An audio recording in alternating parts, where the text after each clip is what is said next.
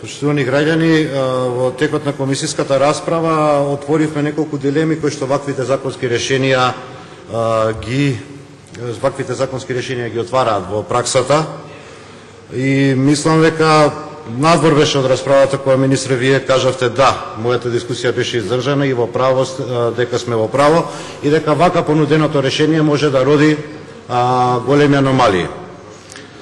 Иако го именувате ставот 4 со заложен доверител, реално овој став раѓа импликации кај должниците.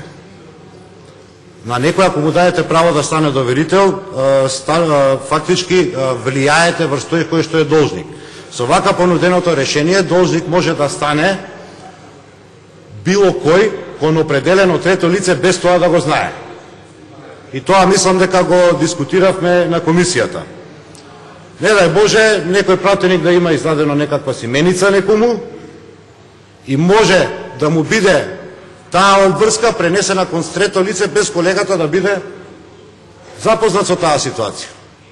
И бидејќи јавноста не е толку стручна за да разбере, значи овдека не е предвидено посебно овластување за таков вид на пренос на обврзница или карти од вредност или меница а ќе го ставиме во правниот систем.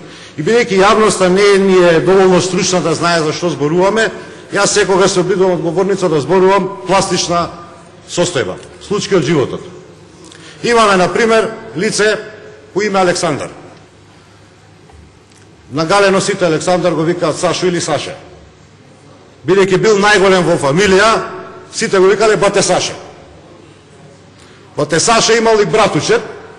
Кој што мислел дека животот му е бајка, па од бајка бајка на галено почнале сите бајколјо да го викаат, или по нашки кажано коле. Двајца биле спортисти.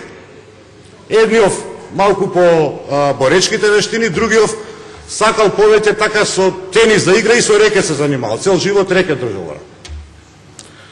Не Боже некој пратеник од собранието, од овој пратенички состав, да има дадено меница на некој од овие двајца. Зошто? Бидејќи бизнисот не е модел да така лошо на двајцата. Ама последнава година им извадиле муабети. Им ги извадиле муаветите и бизнисот почнал да пропаја. И сега се плашат да си ги задржат своите позиции на пазарот.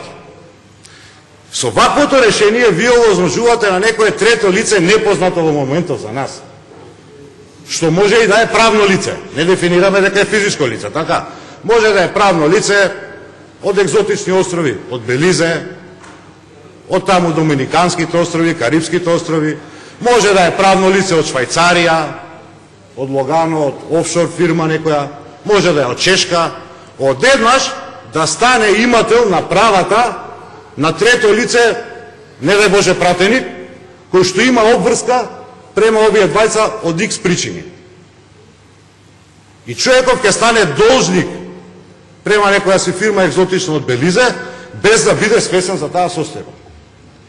Или треба да предвидиме посебно властување за да знае и нашиот колега кога е издавал меницата, дека тоа може да биде пренесено према трето лице, или треба ваквото решение да го повлечеме. Затоа што кога давате статус на заложен доверител, стварат импликација кај должникот.